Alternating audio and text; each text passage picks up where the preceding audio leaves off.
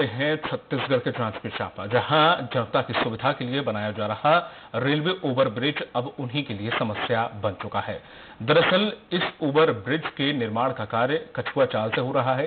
काम की रफ्तार इतनी धीमी है कि छह साल बीत जाने के बाद भी ओवर ब्रिज नहीं बन पाया है, जबकि इसे ढाई साल में ही बन जाना था। लोगों को आवागमन में काफ़ी दिक्कतों का सामना करना पड़ रहा है, लिहाजा उनका आक्रोश अब बढ़ रहा है। इतना ही नहीं, स्थानीय लोग इस कदर परेशान हैं कि अब वे रेलवे प्रशासन के खिलाफ उग्र आंदोलन करने तक की बात कह रहे हैं।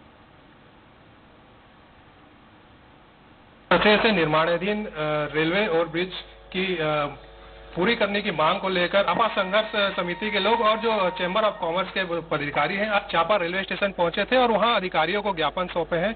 आपको बता दें कि जो चापा का ओवर ब्रिज है आपको दिखाना चाहेंगे जो पिछले कई वर्षों से जो है यहाँ निर्माण कार्य चल रहा है, जो यहाँ के जो लोग हैं, उनका कहना है कि दो से ढाई वर्ष की इसकी अवधि थी बनाने की, मगर छह वर्ष के बाद भी आज ये जो पूरा हो नहीं सका है, जिसको लेकर काफ़ी कई प्रकार की परेशानी आ रही है। जो मार्ग है, यहाँ लोग जो आते जाते थे, इसके अलावा जो गाड़ियाँ यहाँ से आती जाती थी, वो जो है, उनका मार्ग डाइवर्ट कर दिया गया है।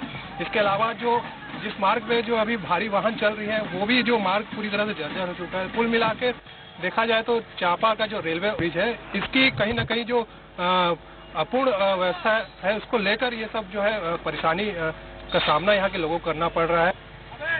हमारे साथ आज कुछ लोग मौजूद हैं। चैम्बर ऑफ़ कॉमर्स के जो है पदाधिकारी मौजूद हैं, उनसे चर्चा कर दी आप लोगों ने लोग जो है, ढोल नगाड़े के साथ रेलवे स्टेशन पहुँचे थे। क्या कुछ मांग अधिकारियों के सामने रखे? क्या कुछ कहना है उनका? जी, हमने अधिकारियों के सामने मांग रखा है।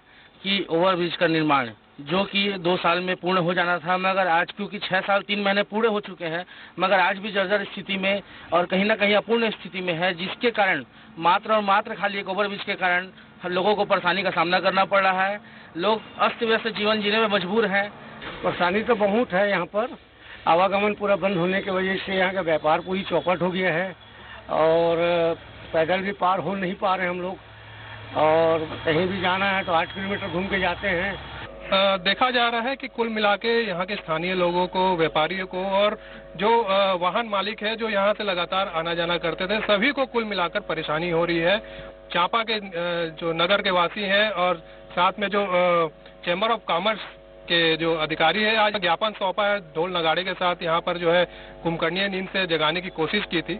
अब देखना होगा कि रेलवे प्रशासन इस पर कब तक कार्रवाई करता है क्या वो नींद से जागता है या फिर उग्र आंदोलन की प्रतीक्षा करता है? स्वराज एक्सप्रेस से रवि गोयल जहांगीर अधिक जानकारी के साथ संवाददाता जुड़ गए हैं रवि गोयल। रवि जिस तरीके से ये रेलवे ओवर ब्रिज बनाया जा रहा है वक्त से हावड़ा ब्रिज जितना लग रहा है आखिर इसके पीछे की देरी की वजह क्या है?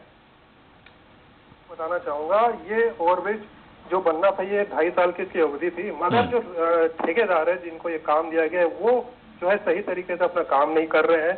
हम्म। जहाँ पर बीस आदमी की ज़रूरत है वहाँ दो आदमियों से काम कराया जा रहा है। ये सब जो कारण है इन्हीं के कारण जो है ये ओवरब्रिज आज छह साल हो गया पूर्ण नहीं हो पाया है। जहाँ इसमें एडवांस मशीनरी की ज़रूरत पड़ती है वहाँ जो है मैनुअल तरीके से काम कराया जा रहा है। ये सब जो चीज़ें हैं ये कई बार यहाँ के जनप्रतिनिधि यहाँ के अधिकारियों को रेलवे प्रशासन को हम्म। अवगत करा चुके हैं लेकिन कोई इसमें सुधार नहीं हो रहा है। आज भी वही स्थिति है। मैनुअल तरीके से दो आदमी वहाँ काम करते हैं इतना बड़ा जो काम है रेलवे एवरेज का लेकिन जिस हिसाब से काम करते उस हिसाब से काम नहीं हो रहा है। यही सब कारण माना जा सकता है कि आज आज की स्थिति में भी अपूर्ण है रेलवे चलिए तमाम जानकारी के लिए अभी शुक्रिया आपका। वक्त फ़िलहाल छोड़ से ब्रेक कर जल्द होंगे हाथ से।